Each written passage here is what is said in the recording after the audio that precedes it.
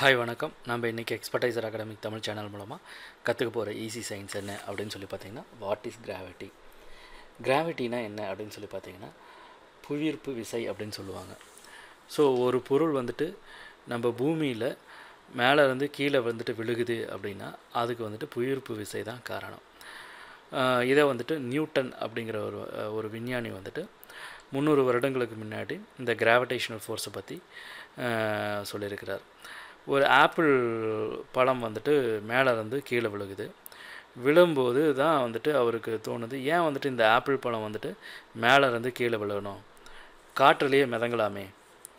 ஏன் வந்துட்டு கீழே விழுகணும்? அப்போ வந்துட்டு இந்த எர்த்து அப்படிங்கிற பொருளுக்கு வந்துட்டு கண்டிப்பாக ஒரு கிராவிடேஷனல் ஃபோர்ஸ் வந்துட்டு இருக்குது அப்படிங்கிற விஷயத்த கண்டுபிடிக்கிறார். ஸோ அதுக்கு வந்துட்டு கிராவிட்டி அப்படிங்கிற அந்த ஃபோர்ஸுக்கு வந்துட்டு கிராவிட்டி அப்படிங்கிற ஒரு பேரையும் வைக்கிறார். இதுதான் வந்துட்டு கிராவிட்டி அப்படிங்கிறத வந்துட்டு முத முத நம்ம உலகத்துக்கு சொன்னவர் நியூட்டன் அப்படின்னு சொல்லலாம்.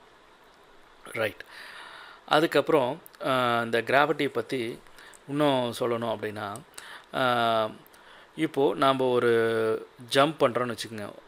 உடனே திரும்பவும் வந்துட்டு நம்ம நிலத்தையே வந்து அடைகிறோம் இதுக்கு காரணம் கிராவிட்டி தான்.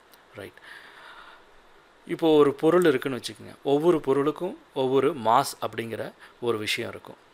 இந்த மாசை பொறுத்து தான் வந்துட்டு இந்த கிராவிடேஷனல் புல்லிங் வந்துட்டு மாறுபடும். ஸோ இதுக்கு எக்ஸாம்பிள் சொல்லணும் அப்படின்னா நான் ஒரு ஹெவியரான ஒரு ஆப்ஜெக்ட் எடுத்துக்கிறேன். அதே போல் ஒரு லைட்டரான ஆப்ஜெக்ட் எடுத்துக்கிறேன். இப்போது ஹெவியரான ஆப்ஜெக்ட் அப்படிங்கும்போது நான் ஒரு ஹேமர் எடுத்துக்கிறேன்.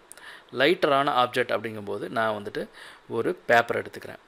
இப்போது ரெண்டையும் அட் அ டைமில் ரிலீஸ் பண்ணுறேன் ஆனால் முதல்ல வந்துட்டு இந்த கிரவுண்டு எர்த்தை வந்துட்டு ரீச் ஆகிற பொருள் எது அப்படின்னு சொல்லி பார்த்தீங்கன்னா இது மேலே இருந்து விடுறேன்னு வச்சுக்கோங்க.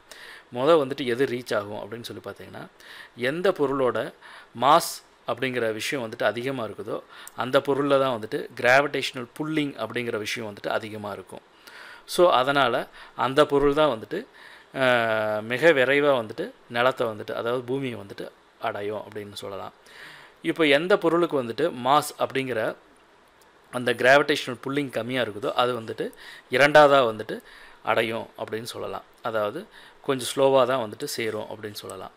இதுதான் வந்துட்டு கிராவிட்டி அப்படின்னு சொல்கிறோம் இப்போ ஒரு நான் பந்தை வந்துட்டு தூக்கி போடுறேன் அப்படின்னா அந்த பந்து மேலே நிற்காம திரும்பவும் அந்த ஃபோர்ஸ் முடிஞ்ச உடனே திரும்பவும் கீழேயே வந்து சேருதல்லவா இதுதான் கிராவிட்டி இப்போது இதே ஃபார்மில் தான் வந்துட்டு நம்ம சோலார் சிஸ்டம் அப்படிங்கிற ஒரு விஷயம் வந்துட்டு இந்த ஆர்பிட்டும் வந்துட்டு ந- நடக்குது அப்படின்னு சொல்லலாம்.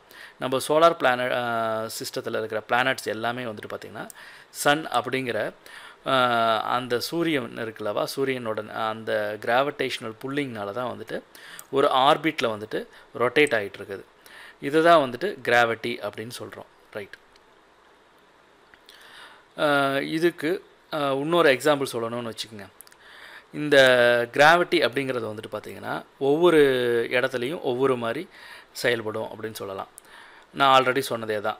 அந்த ஹேமருக்கும் பேப்பருக்கும் உண்டான டிஃப்ரென்ஸ் தான் நான் சொல்கிறது இப்போது அந்த பொருளோட மாஸ் எந்த அளவுக்கு இருக்குதோ அந்த அளவுக்கு அந்த அடர்த்தி அதாவது அந்த மாஸ்ன்னு சொல்கிறோம் பார்த்திங்களா அந்த இது எவ்வளோ இருக்குதோ அந்த அளவுக்கு அந்த இடத்துக்கால கிராவிட்டி வந்துட்டு அதிகமாக இருக்கும் அப்படின்னு சொல்லலாம்.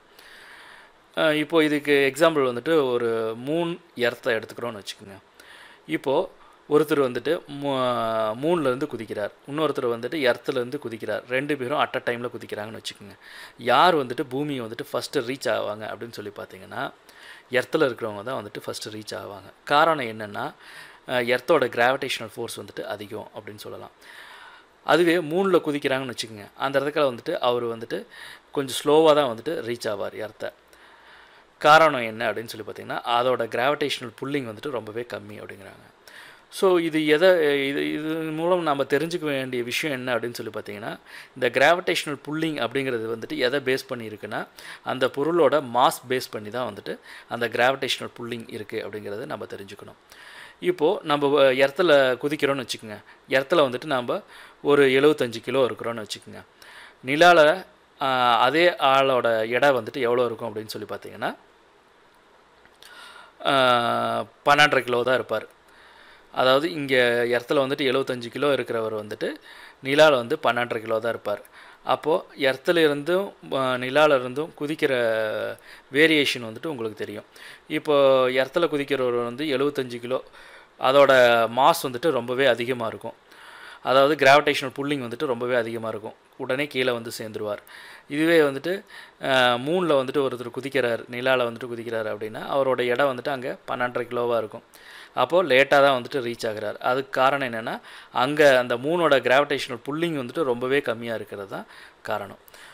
ஸோ இப்போ கிராவிட்டி அப்படின்னா என்னென்னு நமக்கு தெரிஞ்சிருக்கும். ஒரு பொருள் மேலேருந்து கீழே விழுகுது அப்படின்னா அதுக்கு காரணம் கிராவிட்டி தான் அப்படிங்கிறது உங்களுக்கு எல்லாத்துக்கும் தெரிஞ்சிருக்கும்னு நினைக்கிறேன். ஸோ இதே போல் இன்ட்ரெஸ்டிங்கான டாப்பிக்கில் கண்டிப்பாக நம்ம நெக்ஸ்ட் கிளாஸில் பார்க்கலாம். இந்த வீடியோ டியூட்டோரியல் உங்களுக்கு பிடிச்சிருந்ததுன்னா லைக் பண்ணிக்கோங்க.